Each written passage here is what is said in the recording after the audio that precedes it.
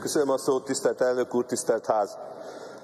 A brüsszeli szankciók miatt energiaválság van elszálltak az energiárak, ezért drágulnak az élelmiszerek, nő az infláció, durván nőnek a családok és a vállalkozások terhei. A kormány azonban nem nézi ölbetett kézzel a szankciós válságot, amellett, hogy a családokat és az időseket védi az áremelkedéstől, megvédi a magyar vállalkozásokat is.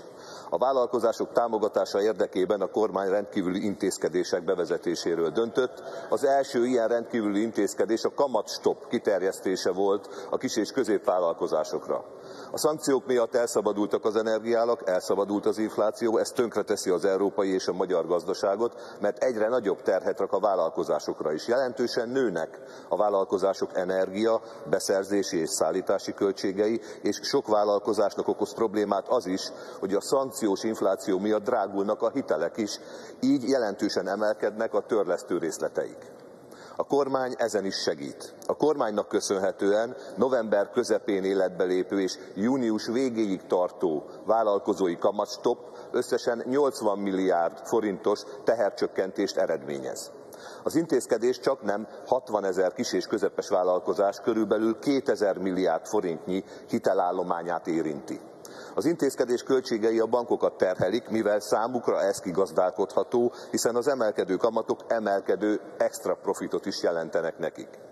Jó hír a vállalkozásoknak, hogy 2023-ban is folytatódik a Széchenyi kártya program. A kamatlábak ugyanis magasak, a hitelfelvételek szigorodnak, a forgóeszköz szükséglet megnőtt, az energiahatékonysági fejlesztésekhez pedig forrásokra van szükség.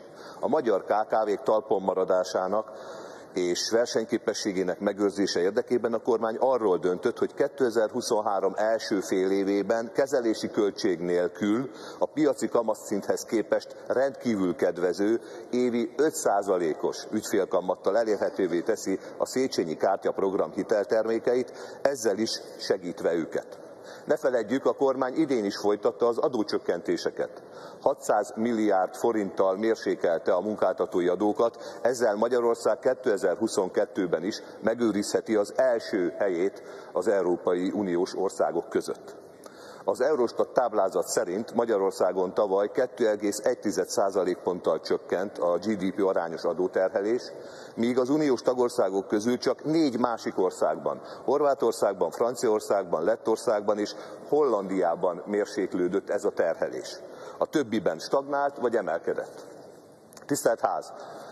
A kormány elindította gyármentő programot is az ukrajnai háborúra adott szankciós válaszok miatt ugyanis egyre nagyobb problémát jelent az energiára kifizetése a cégeknek. A kormány egyértelmű törekvése a korábbi célkitűzések megőrzése, amelyek közül nagyon fontos a teljes foglalkoztatottság, azonban a szankciós gazdasági környezet ezt is kihívások elé állítja. Ezért van szükség a támogatási programra. A gyármentő program elősegíti a sikerrel pályázó nagyvállalatok energiahatékonysági fejlesztéseit. A Központi Statisztikai Hivatal gyors tájékoztatójából kiderül, hogy a nyári hónapok után szeptemberben is 4,7 milliónál többen dolgoztak Magyarországon. 2010-hez képest nagyjából harmadára esett vissza a munkanélküliség a teljes népességben és a fiatalok körében egyaránt. Tisztelt Ház! Minden, mindezen intézkedések élesen szemben állnak a baloldali kormányok elhibázott gazdaságpolitikájával. Emlékszünk még azokra az időkre, amikor a baloldal volt kormányon. A nehéz időkben is agyonadóztatták a lakosságtól kezdve a kis és közepes vállalkozásokig mindenkit. Intézkedéseik a segítségnyújtás helyett kizárólag megszorításokból álltak. Gyurcsányék soha semmiféle rezsitámogatást és rezsicsökkentést nem szavaztak meg, mi több, Kilenc éve követelik a rezsicsökkentés eltörlését. A dollár most is teljes melszélességgel az energiaárrobbanást okozó brüsszeli szankciók mellé állt, és a külföldi kampánypénzekért cserébe képesek lennének még elzárni az orosz gázt is a magyar családok, a nyugdíjasok és a vállalkozások elől. Tisztelt Ház! A célzott támogatások mellett a magyar vállalkozók számos más segítséget is kapnak a kormánytól, de tudjuk jól, hogy a valódi megoldást az jelentené, ha az európai politika a béke rendezésének irányába mozdulna el. A Fidesz frakció ebben is teljes erejével támogatja a kormányt. Köszönöm a figyelmet. Válaszadásra Fónagy János államtitkár úrnak adom meg a szót, parancsoljon. Köszönöm, köszönöm, elnök úr, tisztelt ház, tisztelt képviselőtársaim, tisztelt képviselő úr. Amióta nemzeti kormánya van Magyarországnak, minden válságból erősebben jöttünk ki, mint ahogy belementünk. Ahogy ez igaz volt a pandémia esetén is, így szándékaink szerint így lesz most is. Akkor az önellátás irányába tettünk nagy lépéseket, most pedig a hatékonyság, elsősorban az energiahatékonyság irányában mozdulunk el. Ahhoz azonban, hogy ez megtörténjen, a családok mellett szükséges a brüsszeli szankciók miatt nehéz helyzetbe került kisvállalkozók megsegítése is. Ők a magyar gazdaság motorjai, és emellett ők foglalkoztatják a magyar munkavállalók jelentős részét. A helyzet szakszerű felmérésében segítségünkre volt a Magyar Kereskedelmi és Iparkamara, valamint a Vállalkozók Országos Szövetsége. Jól működő vállalkozások nélkül nincs növekedés, nincs teljes foglalkoztatás. Mindez a családok stabilitását, egzisztenciáját veszélyeztetné. A kormány pedig szükség esetén minden esetben beavatkozott és beavatkozik, ez a dolga, erre kaptunk felhatalmazást a választóktól. A háború és a ránk erőltetett szankciók teljes egészében megborították a gazdaság működését, egekbe emelték az energiárakat, és ahhoz vezettek, hogy drasztikusan megnőttek a hitelkamatok is. Ezért több intézkedésre volt szükség. Az energiaintenzív feldolgozóipari magyar vállalkozások megsegítése érdekében a kormány idén 100 milliárd forintos, jövőre 120, 120 milliárdos programot hirdetett meg.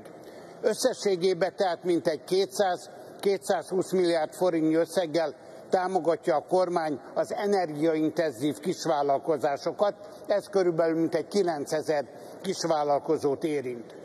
A program keretében támogatjuk a megemelkedett energiaköltségek 50%-át, és jelentős támogatást nyújtunk az energiahatékonysági beruházásokhoz.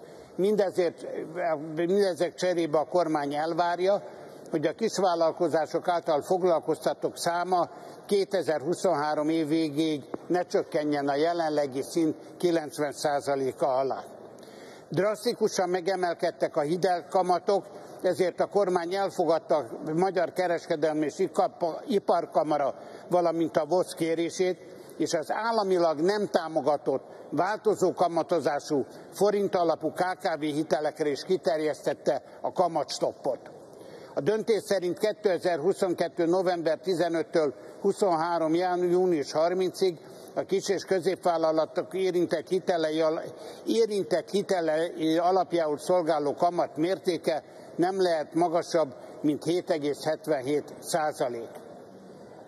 Az a intézkedés automatikusan ér, érvénybe lép, mint egy 2000 milliárd forintnyi hitelállomány és 60 ezer kisvállalkozást érint. Következő a Széchenyi Kártya program folytatása, amelyet 2023-ban is folytatunk, olcsó hiteleket biztosítva ezzel a vállalkozásoknak.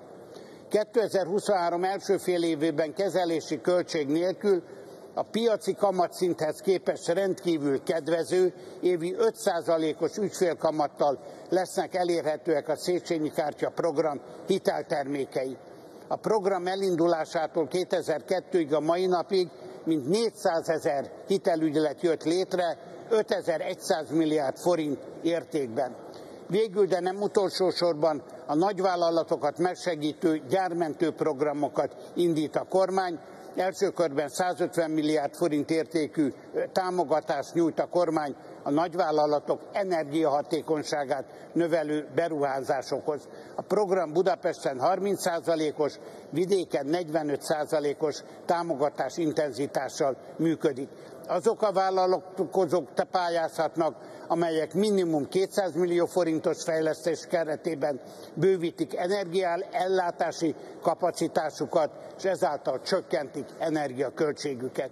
Mindez intézkedések és a magyar emberek elkötelezettségének köszönhetően 4-5% GDP növekedés, rekordalacsony munkanélküliség és kétszámjegyű bérnövekedés várható éves szinten.